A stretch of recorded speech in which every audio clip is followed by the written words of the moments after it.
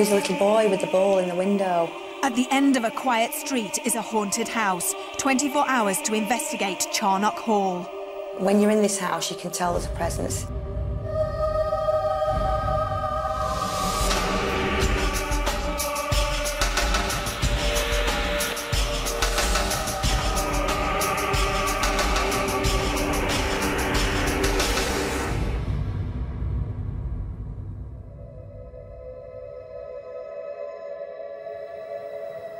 Hello and welcome to Most Haunted. Now, most people think that ghosts like to reside in old drafty castles in the middle of nowhere.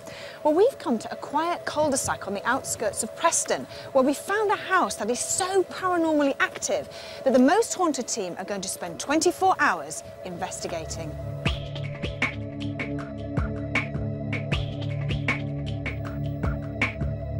Charnock Hall has a long history and was once owned by the royal family. In the 17th century, Robert Charnock, a Catholic priest, lived here. It was around this time that Catholicism was frowned upon and many masses were conducted here in secrecy. The current owners and past residents have witnessed dark, shadowy figures that look remarkably like priests.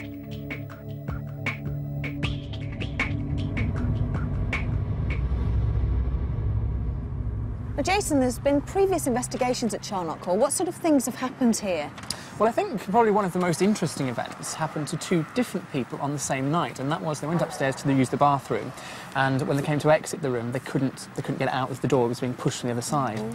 They also had a transfiguration experience where several people saw a person's face change into what they thought was a nun because it had a cross hanging around, and also all the electricity flicked off for no reason, and Carol, who owns Charnock Hall, said it never happened before. One of the theories behind that is that ghosts actually can use mains electricity in order to manifest. Now, there's absolutely no scientific basis to this, but it's a popular psychic theory. Now, Derek Acorah, our spiritualist medium, he's actually on his way to the location. He has got no history whatsoever of Charnock Hall, so I think it's going to be a very interesting evening altogether.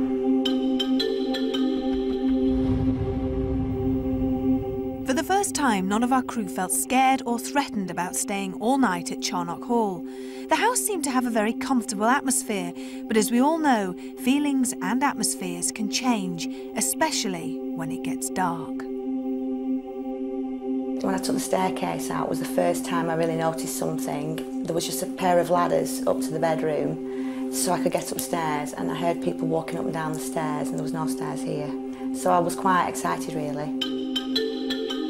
My stereo player comes on in the middle of the night and my television switches on in the middle of the night as well. A friend of mine came round and he sat outside in the car and he said, who's Carol got round? Who's the little boy with the ball in the window? And they said, nobody, Carol's in there on her own. And there was a little boy in the front room window upstairs bouncing a ball. We came here for a seance actually and um, it was a very interesting night. When I arrived, there was a really strange humming noise, and I was the first to arrive, and it was really loud, and that was really noticeable. And then other people arrived, and it stopped. And I was looking for something electric, but there wasn't anything. Anyway, we went on and had the seance, and oh, all sorts happened. But what really sticks in my mind is when I went to the toilet, up the stairs. And I've been loads of times, it didn't bother me at all. This particular night, I went in the toilet, washed my hands, and as I was coming out, the door had closed and it wouldn't open, and it wasn't locked.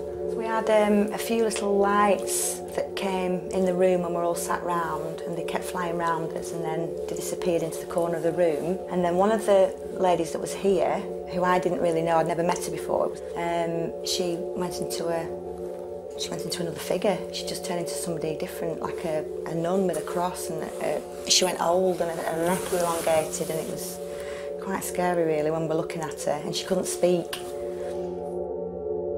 She was youngish, I think she was blonde, and she was four or five ladies along the left to me. And during the seance, I could hear other ladies on the other side saying that she was changing, so I looked. And I couldn't get full frontal face, but I definitely saw her neck grow and she aged. She was just, she couldn't speak. And I was thinking, this is really weird. and then temperatures changed cold, really hot, and everybody was noticing it. We were holding hands, and suddenly everybody was burning, or everybody was really chilly. It was really an interesting night. The middle bedroom is the the one that's got definitely things happening in there. That's the one where my friend experienced the monk sitting on the bed. A medium picked up the most spirits in that room, and my friend won't sleep in that room. And in fact, a lot of people won't go in that room. I feel protected. I don't feel frightened at all. It's a, it's a really nice. Whoever's here, they're, they're looking after me. My estate when I put the house on the market, which which I really didn't want to sell, but I have to do for certain reasons. Um, she came in and sat in the front room and uh, she took all the details of the house and the, you know, the measurements of the rooms and stuff. And she just said to me, Carol, somebody just sat next to me on the settee.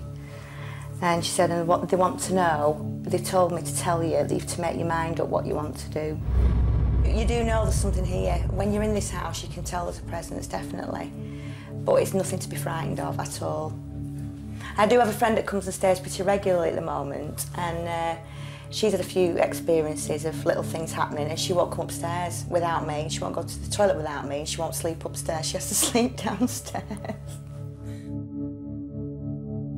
Well, this house is a private house. It's not well known as a haunted location. There are, however, a lot of historical facts that we do know, despite the fact that it's not particularly important in paranormal terms. The most important family connected with the hall, and the reason it's called Charnock Hall, is the Charnock family, the principal member of which was Robert Charnock. Now, he was a Catholic priest in the area, quite an important person when it was deeply illegal to practice the Catholic faith in the 17th century. And he, when he died, signed the house over to his housemaid or house servant, who was called Grace Bold, in the hope or in the trust that she would continue to allow the building to be used for Catholic Mass. Now, she decided not to do that, and when uh, she got hold of the building, she decided to use it for her, her own ends. Now, people have said that they've seen spirits or phantoms here with long robes, and that may be explainable if you believe in the ghosts that people say they've seen as Catholic priests, because there are priest hides here in the house.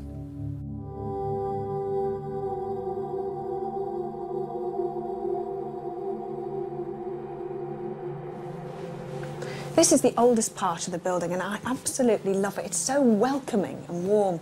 But in spite of that, the owner had a friend who brought their dog here and all the dog did was cower under the table. It was absolutely petrified. Although this room is pretty, I don't like it. Now, a guest was sleeping here, and she woke up in the middle of the night to find two monks sitting on the end of her bed, starting to have a conversation with her. She didn't hang around. She stood up, screamed, and ran out. Well, this is the main living room of the house, and a lot of paranormal activity goes on here. Now, Carol, the lady who owns the house, is asleep upstairs in bed, and all of a sudden she'll hear the stereo and the television come on of their own accord. She'll come downstairs, switch them off, and go back to bed again. Not only is it inconvenient, but there's just no way I would stay and live in a house like this. With our spiritualist medium, Derek Acorah, joining the rest of our crew, we had time to talk about what may happen tonight and how we were all feeling. 100% too paranormal. However, when you sat in the edit suite, it's very easy to take judgment on what you see. But now that I'm here and I know that the lights are going to go off later, I'm not sure how I'm going to react to it. I am a little apprehensive. When I first arrived to the property, I was virtually jolted back. It was like a, a short charge of electricity. And that is always assigned to a sensitive, um, that a ley line, and quite a strong ley line, is, is attached underneath um, this property here. It can help the spirit entities to be experienced more than if there was no ley line there. I have no idea what I'm expecting to happen tonight. Um, one thing I don't like is the middle bedroom. It, it, frightens me for some strange reason. That's probably me being silly. Um, but we shall see a little bit later on. The only time I get frightened is when um, there's something, whatever location I could go into, that I personally or Sam, firstly that I don't understand, or not come across before. See, when we were in when we were in Ostrich Inn, yeah. I'm, I swear you probably tell me to, to shut up, but when we were at Ostrich Inn, you were gripping my hand so tightly. Yes, by touching and holding, mm. that is your reality base still with another person in the physical body. That is your contact. Right. Is it not also the fact that at the end of the day, you're a medium by your profession and by your life, but you are also a human being, and human being get, beings get scared? Very- And there's a little part of that as well. Because I've seen you when you seem to be slightly edgy. I mean, at Chillingham Castle, you were slightly edgy, not when you were in your medium, sort of performing your mediumship, Mm. but when you were being Derek Acorah, not Derek Acorah the medium. Yes. You seem to be slightly edgy, and I, I think that that's because you're a human being, and I Yeah. don't think anyone will eradicate that, whether they're in tune with the spirit world or not. Yeah, I agree with that because I mean, after all said and done, I am human, and um, you know, every medium's human, and it, it's very good that you bring this up. However, with the um, amount of times in hands-on experience of the different locations over the years, the further it goes on, the lesser or likelihood of that fear factor showing bodily in the body language um, diminishes. But it suddenly comes back to the fore when I come across, as I've done just recently in some of our locations, some of the uh, we've investigated, something that is I haven't experienced before, mm. and that does get you edgy. Yeah. Yeah. Mm. But if you've experienced it and it comes again mm. on another location because you've experienced it, you say, well, I can cope with it a bit more because I know what's coming. But what reaction do you get from Sam when you when when that's happening? When you're having that fear, that Derek Acorah fear? I shout at him.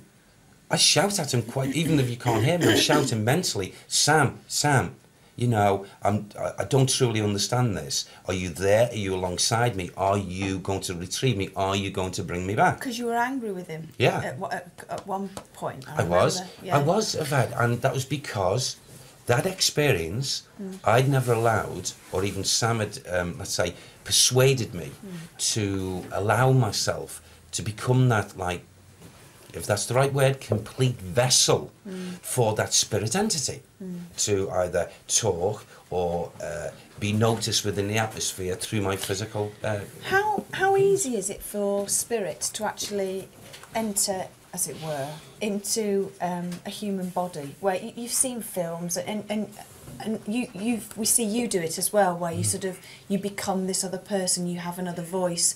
How easy is that to achieve?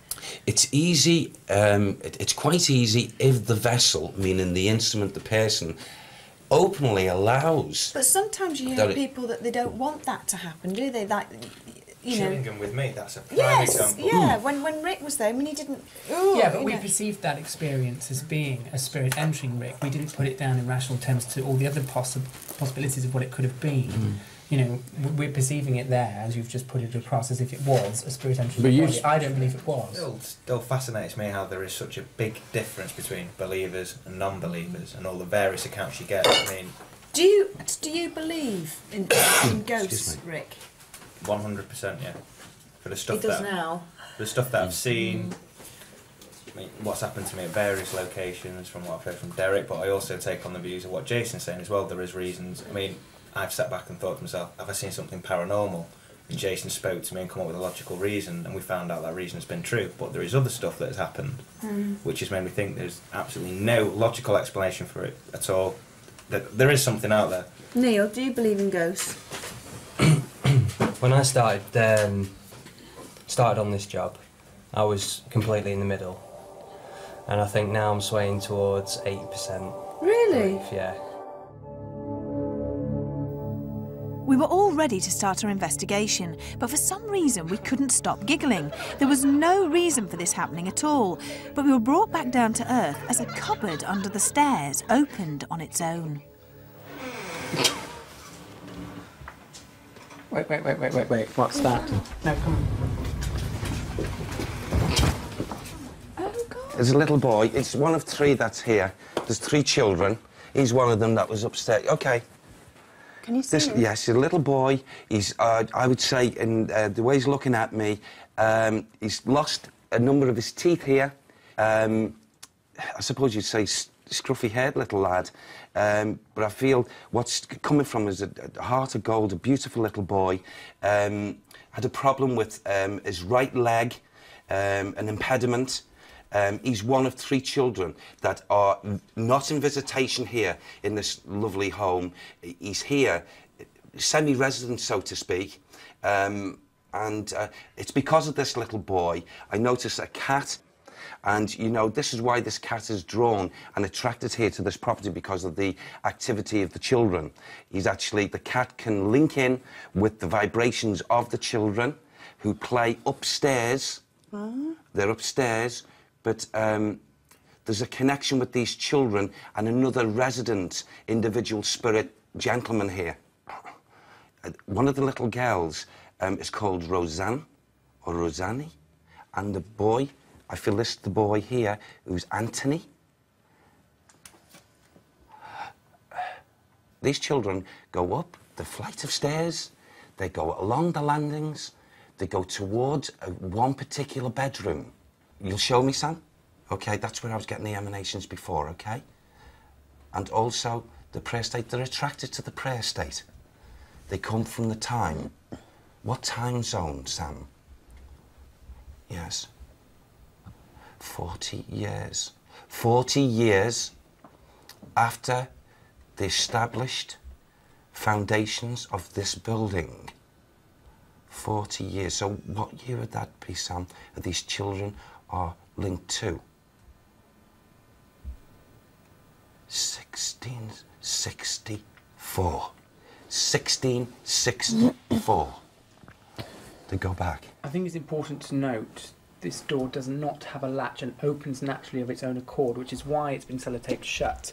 And that the gaffer, the gaffer tape has simply come un, unhinged. That's why it does that. I mean, if you if you leave that now, if we do an example, Right, well, it was like that, and it was stuck down yeah, like that. and it's been like that for some time. So when the gaffer tape, if you leave it, if you Yeah, if you but- leave it, yeah, but that but gaffer tape comes unstuck Yeah.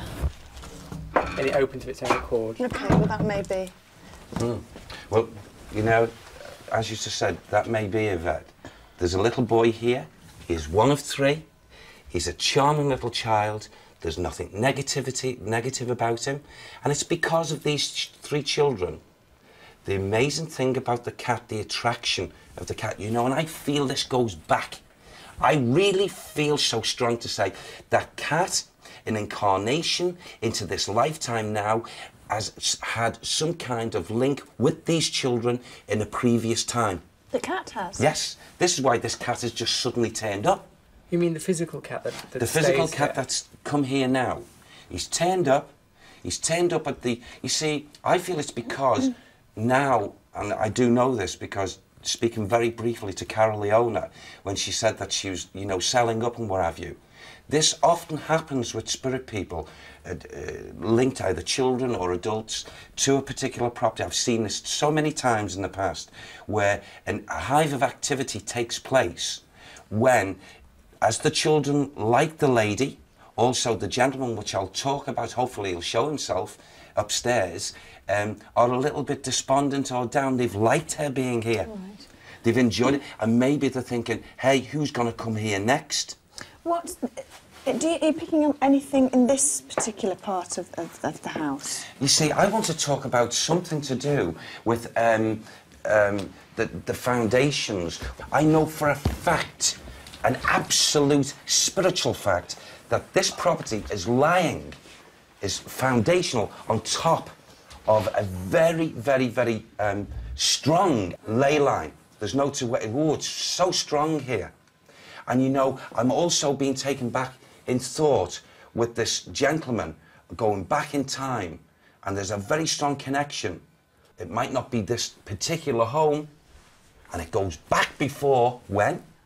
1626. Let's go back beyond and down. Because as we go from. It's a monastery. the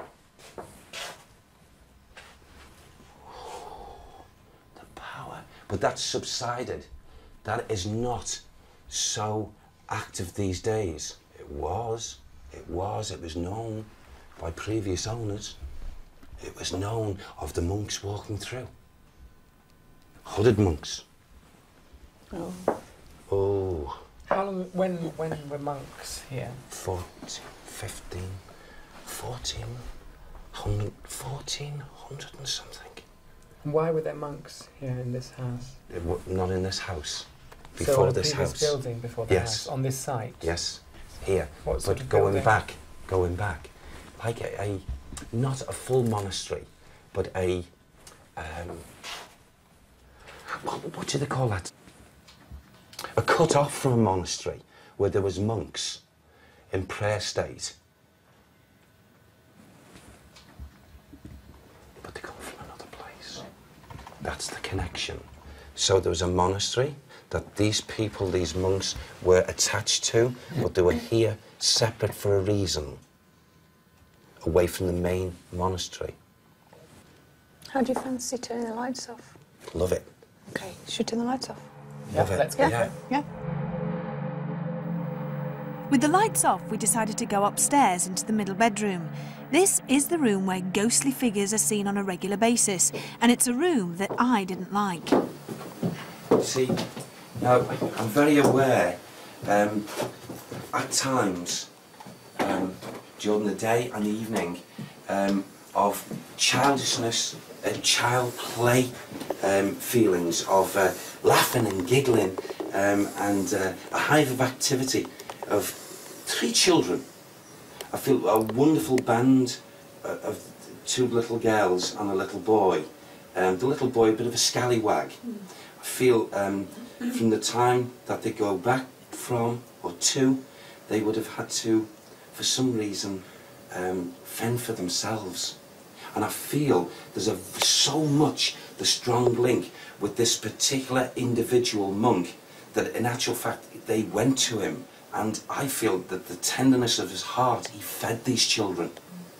And this is why there's an kinship to him. And yet earlier I felt as if it was from a different time, and it's not. Both interlinking at the same time. So, you know, I can get things slightly wrong until I come into the atmosphere. You see, the energy, this monk is listening right now, Yvette, Jason, to this conversation. And yet, I don't like this room. yeah, he's Why? I don't like it. he's listening uh, and you don't like it. No. I also feel maybe in a previous owners, not the actual owner today, but the previous owners would have felt that there was poltergeistal activity here. Through their ignorance, um, kindred ignorance, um, they would have mistaken the, the children's playfulness and their energy, collectively, three of them, if they were going together, running through and what have you, they would most definitely, most definitely cause um, individual items to probably either crash, fall, which would probably then give the, the fright of Almighty to the residents here. You see, the knocking of doors and noises are most definitely attributed to the children. Playfulness, not poltergeistal, anything like that. Now, where the monk is concerned, he's such a, you, you won't mind me saying it, a quiet sort of man. Quiet disposition. I feel he has been seen. He should have been seen. But his conditions most definitely favour the main bedroom in this building. Like a master bedroom. Yeah. Shall we go there? Very interesting because On the way to the main bedroom, Derek was picking up on the children again, and they seemed to know about some of the strange activities in the house. be interesting. Could you check, please, also about the electricity here in the building because it went all haywire and the children are very aware of it. Okay, they want to give proof that they are aware of the electricity and the problems that they've had here, and they're very aware of it. They congregate. This is his energy field. He was far-reaching in his thoughts, far beyond any monk of his day. That's why he was uh, designated here with a group of monks, um, most definitely linked to the main conditions in Chorley. And you know, he was such a kindred soul, this man, and especially where children were concerned. Um, Thomas Michael. Thomas Michael. Um, oh, look, he goes to that old cove there. Really believes in that. What, what's in that old cove? Can I just have a look? Okay. There's something behind behind there. There's something behind there. Blocked. What was behind there? Between there and the loo, this is where Thomas used to, quite regular, go down on his knees into his own personal prayer state. And he, um,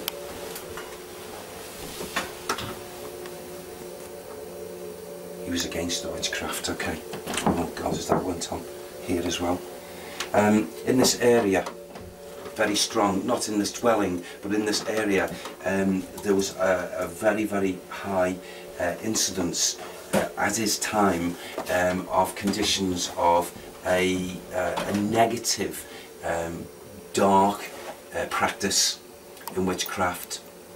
Um,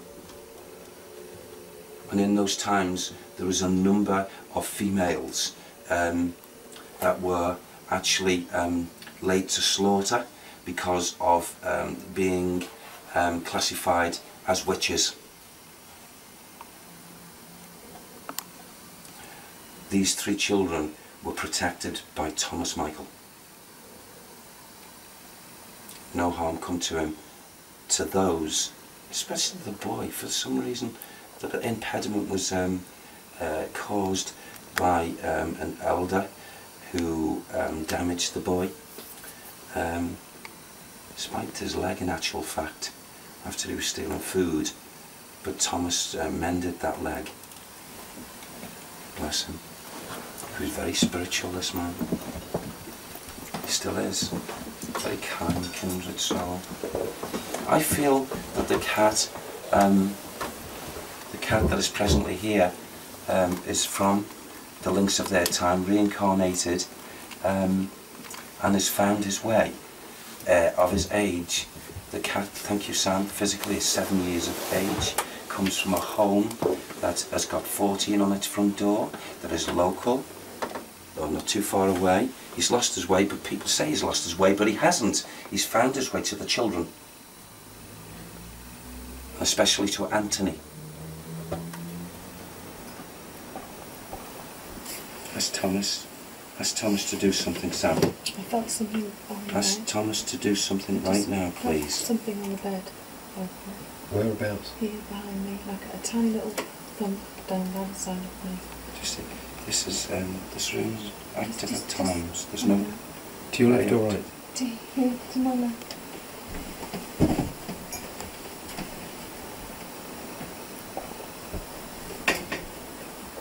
Do it to me. Oh, it, was, it wasn't. It wasn't that. It was not like somebody Well, I sitting don't there. know, what was it? Well, like it's like it's like it was like on you or no, on the no, bed? no, on the bed. It was like, Like a depression or something? but only small. Press the bed. Only small.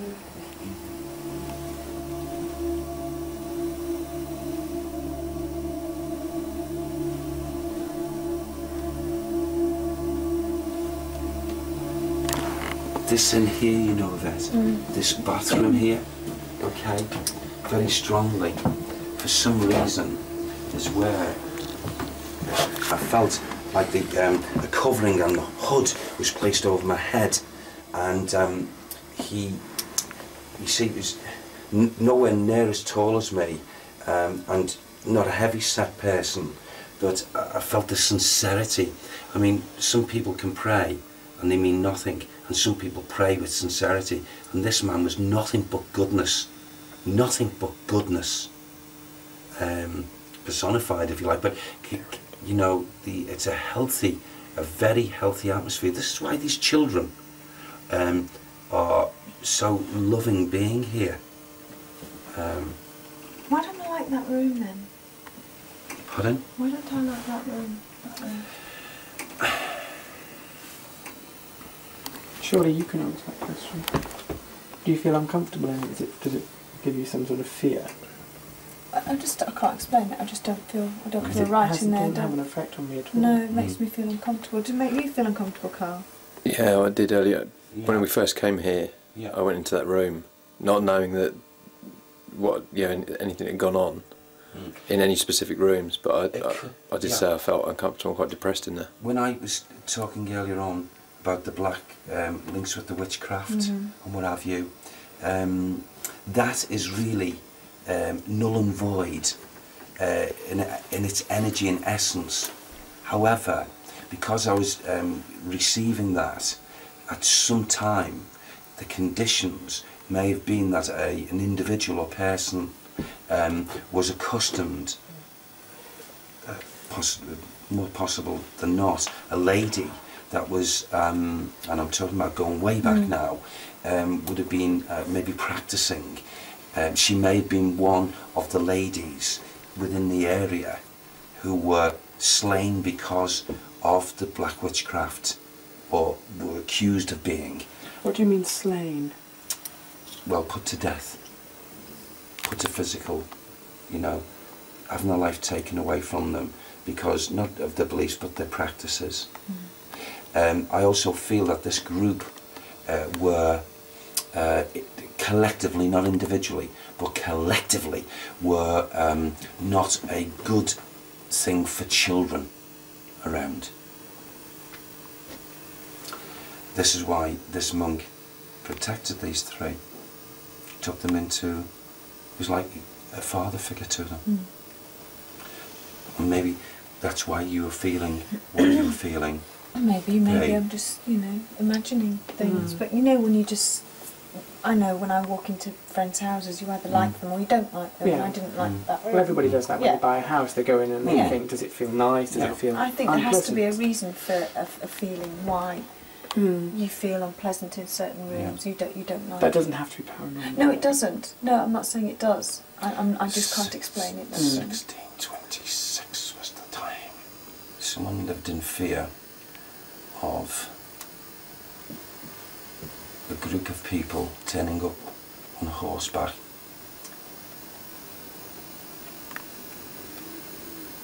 It's got 1626, is it?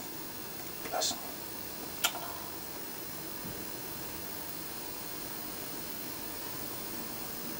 There's a history, a strong history to the time of 1626, a very significant change that took place to the foundations and the conditions of where we stand now of it. Hmm. Absolutely. And that was the monk who impressed that with me. Very strong. Hmm. Obviously, apart from the monk, these three children, I can almost guarantee 100% that these children, what they've done what they do, can be experienced and picked up by the present occupiers of this home now. Mm-hmm. I feel so certain about this mm. because of the energy as I walked through and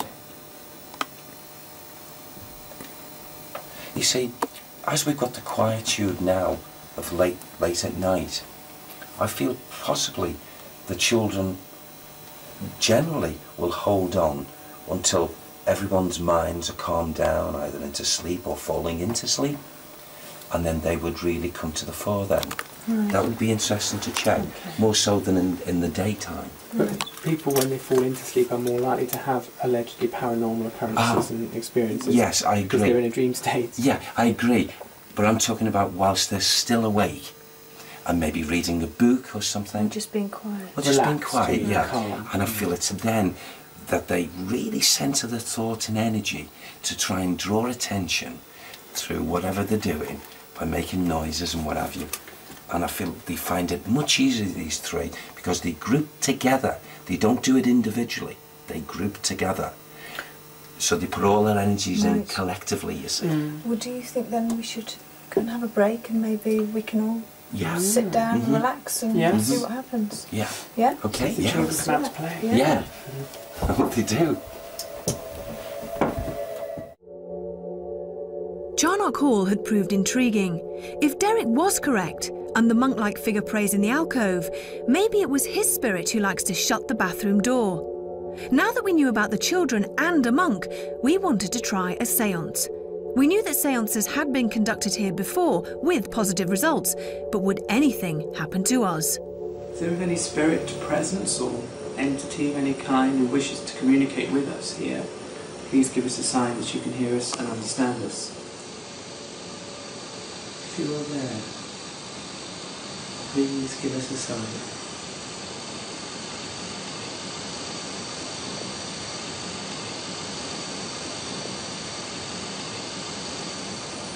Face is twitchy.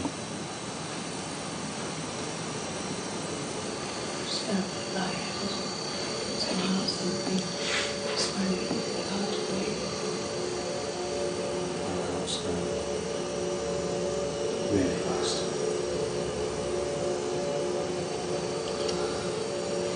Mm-hmm. Yeah. No? Well, well, the whole body's just twitching. Stop. I'm just going to say. Stop. My jaw has really, really, really started hurting very suddenly. Really painful. Can I feel it? Oh, wow, yeah. Uh, I was tingling all over my face, down my arms, down my legs. I just don't feel right. My heart rate to drop like that and to find it difficult to breathe. What do you do to your hands?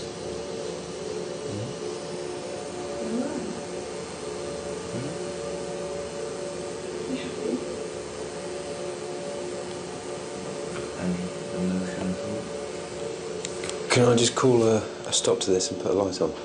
Sure. Yes. I just think it's fair. Rick's odd behaviour was a little worrying. He didn't want to speak much and kept feeling his hands. It took a while for Rick to come round. Why had this happened? No one knows. In previous seances, we had experienced cold spots, floating orbs, and something touching us. But in this seance, everyone had internal feelings, and it took us some time to feel normal again. After a break, we went back upstairs into the middle bedroom. Neil, Jason, and myself sat quietly in the hopes that we would see something using our night vision cameras and an EMF meter. Don't you think I'm being very brave? Sitting here without one person to my left and one person to my right. Yes, actually, you are. But you did, said you don't feel scared now in here, like you did earlier on. Why do I not feel scared here? And I have done, and every everywhere else we've gone. Going back to what Derek said, there wasn't anything particularly negative No. about what he said, and everything was quite happy. Oh, I got right at the bottom of the screen. It's quite big. Come on, if there's anybody in this room, can you show us some more these little lights? Oh, That's got quite a sharp pain in the head. oh gosh, good grief! Where are they? On the floor? By the waste paper basket. Where's that? Just down here. Yeah. So we had managed to catch three orbs. They were small, but one of them moved in a very peculiar way, almost stopping to change direction. There were no drafts on the floor or any windows open, and dust was discounted. But it seemed odd that as we were talking about the supposed ghosts, these small orbs were showing up on camera. How much longer should we give it?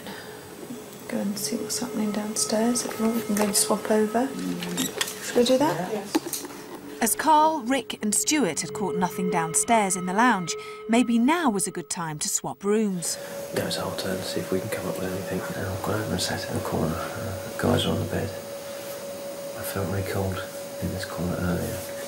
There's definitely something else here because it's warm now and it was definitely cold. There's no drafts in here. It's a very warm room. There's no reason for it to be cold here, and it was earlier. Oh. Now that I'm pointing exactly in the same place where uh, Jason, Neil, and Yvette got an orb, and there's something's just flown through screen. This light form was something we had not seen before. It seems to come from the bottom of the screen and float upwards and out of shot. After viewing it many times, we cannot explain what it is. We're now downstairs. So this is the room where we had the seance and we all felt a bit strange.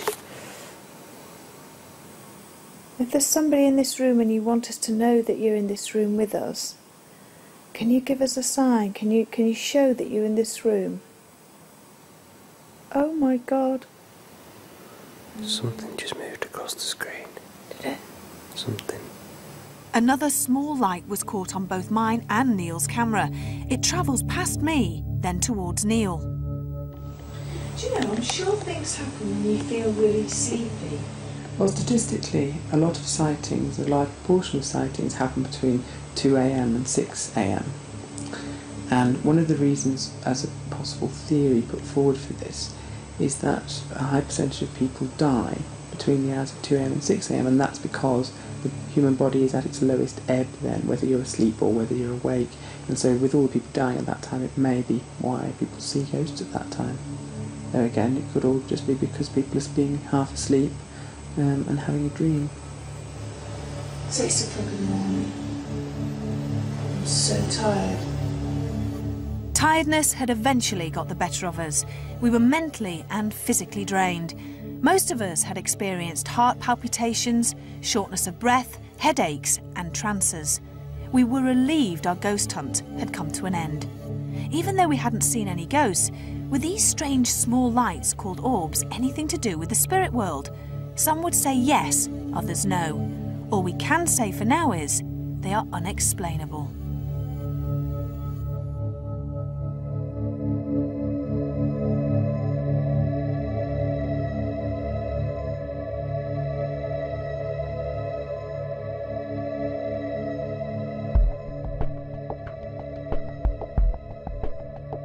as we were ready to conduct the, um, uh, the investigation, um, a door just absolutely slammed open um, to the left of us, and it stopped everyone on the track. Certainly stopped everyone laughing and giggling, um, which then was really the beginning of the investigation. The one thing that occurred last night, which I would like to look at in more depth, was uh, one of these orb anomalies that we've had caught in the past. This was caught in the middle bedroom upstairs where some of the ghostly activity has been reported in the past. And the difference with this orb to other ones is that its movement was sort of quite strange. It came into the shop quite quickly, seemed to stop and hover momentarily and then move off very slowly. It just seemed a little bit odd to me and I'd like to look at it in more detail. I feel that the three children, actual fact, um, all, of different ages, a little boy and two girls, actually um, found themselves leaving the physical body together. Um, I couldn't, uh, through my inquiries last night psychically, find out precisely how. And um, they're very lovely children.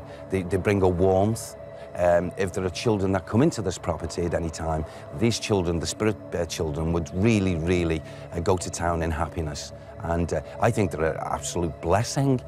Well, Charnock Hall isn't open to the public. Carol has absolutely no reason to make up or embellish stories about ghosts here, as perhaps some haunted inns and haunted castles do, because obviously that brings in the tourists and the money. So that makes it more interesting to me and gives it a bit more validity as a case worthy of investigation.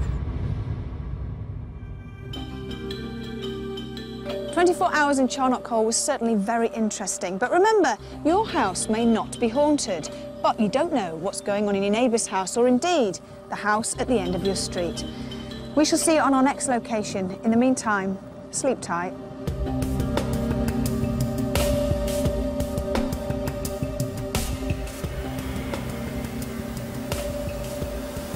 God, so, much, so much fucking toilet. Bit freaky with the lights off though, man. Novice to this. What was that for?